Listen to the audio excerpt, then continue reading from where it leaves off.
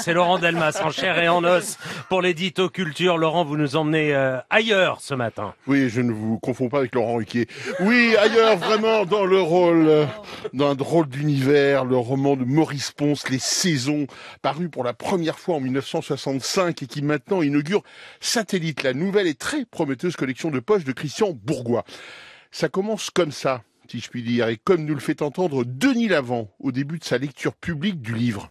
Il arriva par le sentier de la Cluse, vers le seizième mois de l'automne qu'on appelait là-bas la saison pourrie.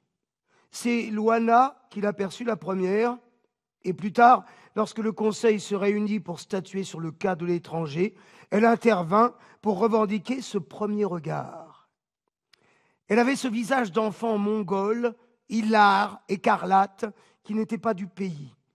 Elle avait ces intonations étranges qui faisait qu'on l'écoutait toujours avec stupeur.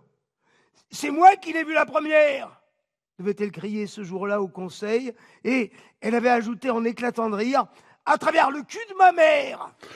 D'entrée de jeu, le ton est donné, le ton de l'étrange, du baroque, du côté sombre de la farce et du grotesque. On plonge avec Siméon, l'écrivain voyageur, dans ce pays où ne subsistent que deux saisons qui durent chacune 40 mois. La pluvieuse, la pourrie, autrement dit, et celle des grands gels bleus glacés, où ne poussent que des lentilles qui nourrissent une population paranoïaque, jalouse, volontiers violente et définitivement capable de comportements et de réactions absurdes. Maurice Ponce invente de toutes pièces un univers romanesque qui en devient fascinant à force de folie individuelle et collective. Comment ai-je pu écrire quelque chose d'aussi épouvantable s'est-il demandé un jour, mi-figue, mi-raisin, mi-pluie, mi-glace, si vous préférez.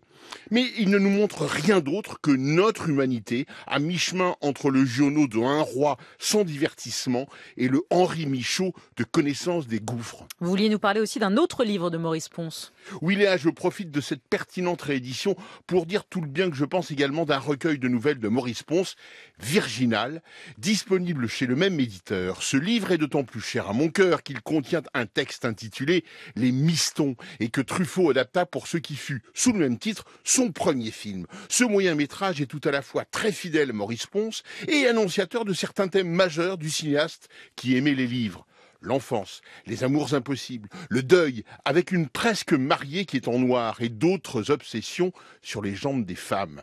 Voici le tout début du film pour se quitter avec l'image sonore et radieuse de Bernadette Lafont à bicyclette dans la campagne nimoise. La sœur de Jouve était trop belle. Nous ne le supportions pas. Elle roulait toujours jupe flottante et assurément sans jupon. Bernadette était pour nous la découverte prestigieuse de tant de rêves obscurs et de nos imaginations cachées. Elle était notre éveil, elle ouvrait en nous les sources d'une sensualité lumineuse. Maurice Ponce, édité chez Christian Bourgois. Merci Laurent.